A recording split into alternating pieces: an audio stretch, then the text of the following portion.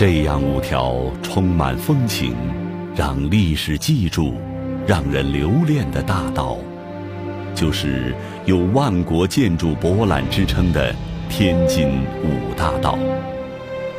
这里完整保存上世纪初设计建造的有英、法、意、德、西班牙代表性建筑风格的小洋楼近两千幢。是一本可以入藏世界建筑典籍、近代中国历史的活的大书。这里一步一楼，一楼一景。近代中国看天津。二十世纪二三十年代，这里居住过与中国近现代政治、经济、文化、实业。教育动荡起伏有关的众多名人，五大道，一种情节，一种温馨。不少外国游人到此寻找昔日的传奇和浪漫，被历史浸润过的建筑味道是不散的。它的每个细节都生动的让人漫步停住。这所建于一九二一年、神秘吸引中外影视镜头的静园，原名乾园。中国的末代皇帝清训帝溥仪和婉容被赶出紫禁城后，就居住在这里。现在整修一新，恢复溥仪居住的原样，正式对外开放。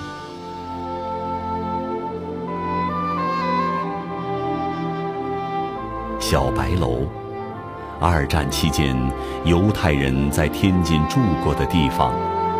这里有着一种天津人永不消散的国际情怀，在新建音乐厅周围依然着、环顾着。盛装后的海河，包括袁世凯。冯国璋在内的五任民国大总统居住过的风水宝地，每个天津人走到天边仍要回来游、回来转的地方，现在已如清明上河般，成了城市群族的景观带。天津利顺德大饭店。至今保留着中国最早使用的电梯。一九一二年，孙中山天津行的坐榻，魏婉容跳舞放唱片的留声机，和宋庆龄、赵四小姐弹奏过的钢琴。梅兰芳住过的房间，至今新温如故，留有兰香。后来当上美国总统的胡佛，在这里住过七年之久。天津风物处处有致。一八八七年兴建的这座维多利亚公园，是天津最早的公园。海河左岸意式风情区，是亚洲意大利风味最足的地方。这里有一大批上世纪初建成的、具有浓郁意大利风格的建筑群落。从尖顶塔楼到马可波罗广场，中外游人在欣赏亚平宁半岛不同建筑风光的同时，可以品尝到原味十足的意式咖啡和米兰西点。这里。至今保留着老天津耳熟能详的意大利领事馆、回力球场和汤玉麟故居。翻译《天演论》的严复，化儒为佛的李叔同，和清末才子梁启超，创作经典话剧《雷雨》的剧作家曹禺，都曾在海河两岸驻足居住过。历史文化凝固下的温馨，让人久难忘怀。鼓楼，天津老城的中心，好似聚集着一碗京味文化浓郁的老汤，与毗邻的这条被天津人称作“金门故里”的古文化街，构成津味十足的楼庙圣地。中国三大妈祖庙之一的天津天后宫，是年节香火祈安的福祉。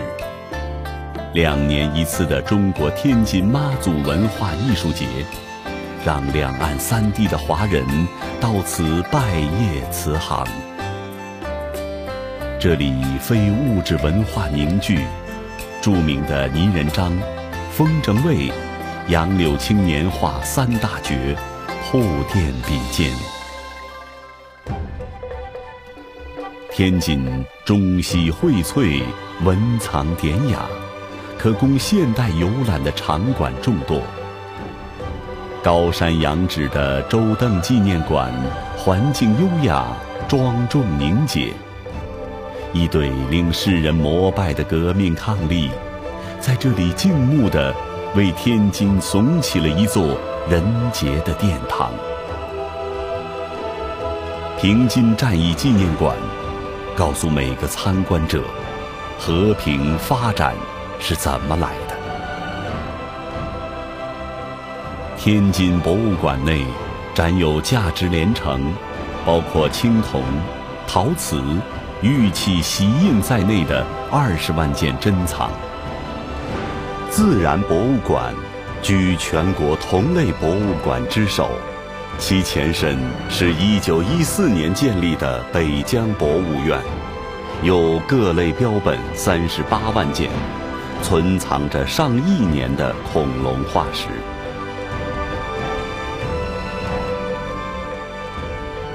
天津奥体中心宛若巨大水滴，展示着一座城市柔和之美、建筑之美、动感之美。天津和谐安逸之外，到处锦山秀水，文身意远。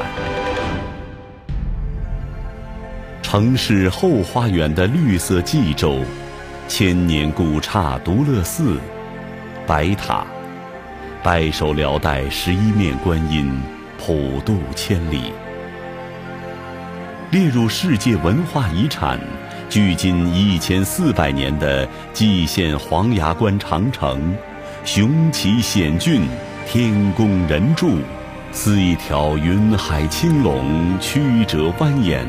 坐落群山悬崖之上，这里的群山峰峻直起，山清水秀，集自然景观、史地人文两大成。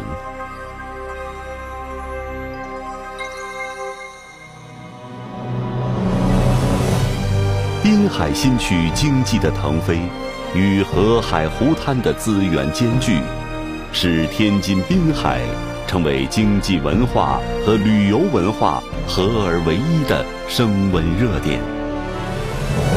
经济发展、交通的便捷、资源的完备和宜居生态的现代化，带来都市观光、商务会展和休闲度假的同步发展。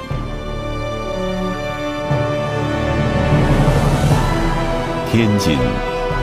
河海湖山环抱，独具地利，历史文化厚重。天津到处人文积淀，在迈向新时代的今天，这座中西合璧、古韵今辉的城市，愈发幻彩迷人。